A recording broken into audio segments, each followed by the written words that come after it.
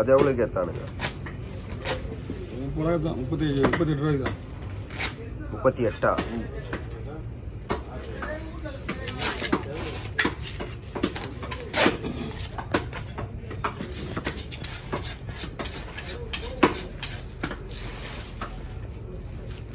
அந்த போனை வச்சு நின்றா லாபம்.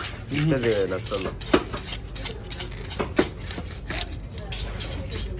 முப்பத்தஞ்சு ரூபா கணக்கு ஃபோன் கீழே கொண்டு யாரும் நூற்றி விட்டுருக்க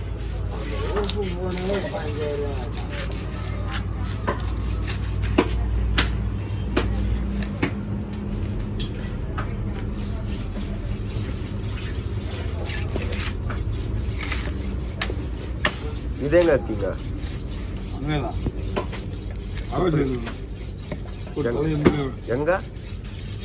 எந்த கடை சுப்ரீம் மொபைல் இது கிராஷ் வரல இதுக்கு ஆ காசு விடாம எவ்வளோன்னு போட்டான் இது? ஐம்பத்தி அஞ்சு ரூபா. ஐம்பத்தி நாலு ரூபா. ஐம்பத்தி நாலு? ஐம்பத்தி நாலு சார்ஜர் கொடுத்தான். ரெண்டாயிரம் ரூபாய் சார்ஜர் அவனே குத்துட்டானா ம்.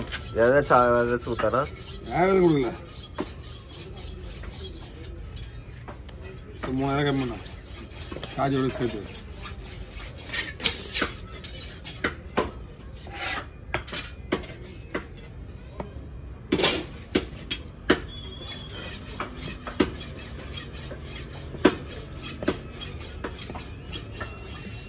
நான் பீஸ் பண்ணா சின்னதாக போடலாம் இன்னும் சின்ன போடுவோம் சம்பளம் போட்டுருவோம். இது பாருங்க. ஓகே.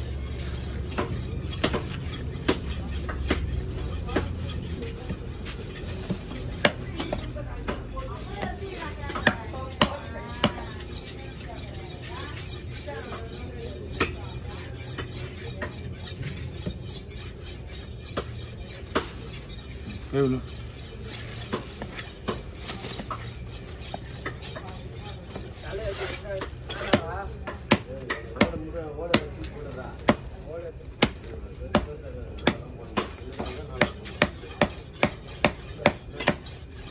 சூடி மீன் வைங்க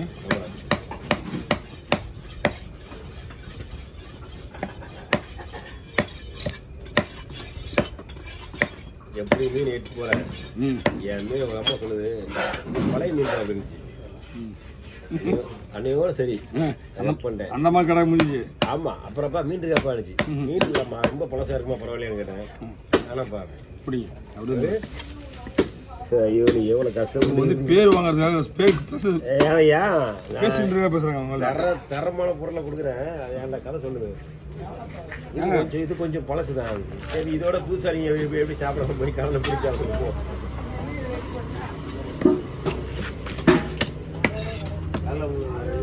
ஏதாவது ஒரு கதை உள்ள விட்டு.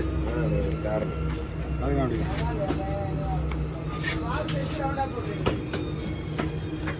பாட்டு பாட்டு ஆரம்பிச்சு சேப்பா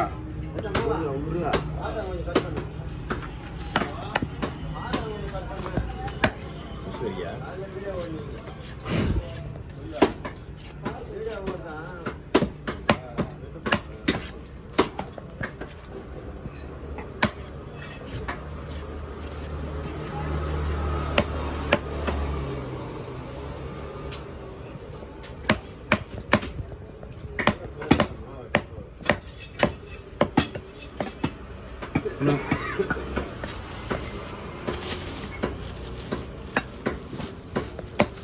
இல்லை எலும்பு எடுக்கல நான். கருப்பு எலும்புல எலும்பு தான் வீடு குறைஞ்சினே போகும்.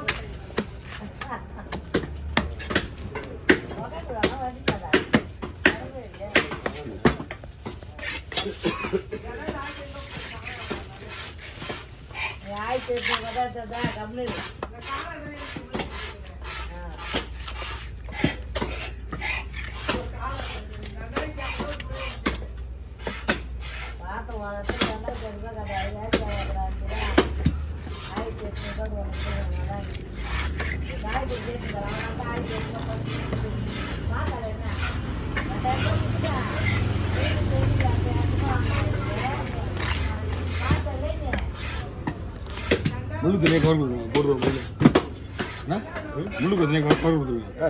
கொடுத்துருங்க முள்ளு போட்டுருங்க அவரு.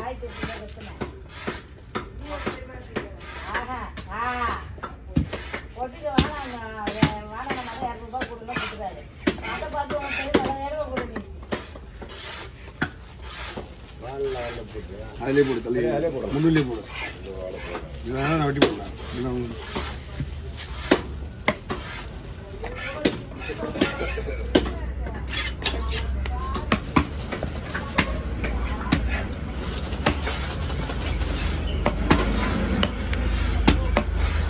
மீன் ஏய்,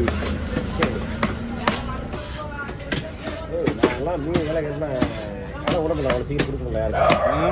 கேட்டுனே இருக்க உடம்பே நம்ம நம்ம பிடிச்சிருந்தா உடைய முடியும்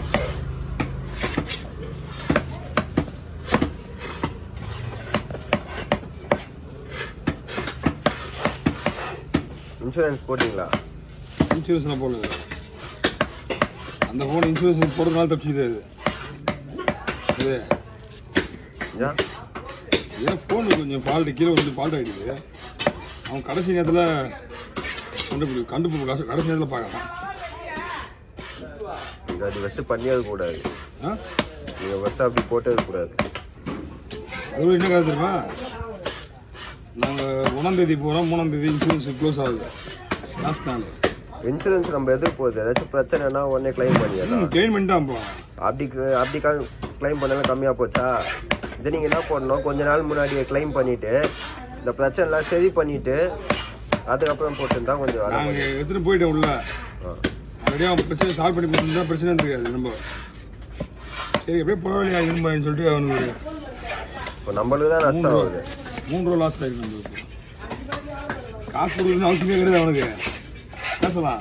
போன அடிச்சு இன்சூரன்ஸ்காரன் வந்துட்டானே இப்போ இன்சூரன்ஸ் போட்டோமா இந்த போல வஞ்சிக்குது மாற்றி கொடுலாம் அவன் மாற்றி தான் கொடுத்தாகணும். இன்சூரன்ஸ் டேட் இருக்கு டேட் இருக்கு.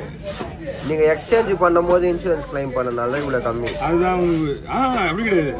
இந்த மீ இந்த வந்து இன்சூரன்ஸ் கிளைம் பண்றதுக்கு முன்னாடியே இது இது அடி- அடிபட்டிருக்க ஒரே டிஸ்பிளே பார்க்கறதுக்கு முன்னாடியே அது ரேட்டு பேசி இல்ல இல்ல டிஸ்பிளே ஃபால்ட்டுன்னு தெரியுது முன்னாடியே கையில பேசிருச்சு அதான் ரேட்டு முப்பத்தெட்டு ரூபா ரேட்டு இந்த முப்பத்தெட்டு ரூபா போகாதுடா திடீர்னு. என்ன ஃபால்ட்டுண்ணா அப்படின்னா. ஃபால்ட்டுன்னா என்ன? இன்சூரன்ஸ் இருக்கா? கிளைம் பண்ணிக்க? வாரண்டி இருக்கு. ஒம்பதாவது போகுது. ஆ அதை முடியுது அவ்வளோ ஃபுல்லாக தரவா ஆமா ஃபுல்லாக இருக்கு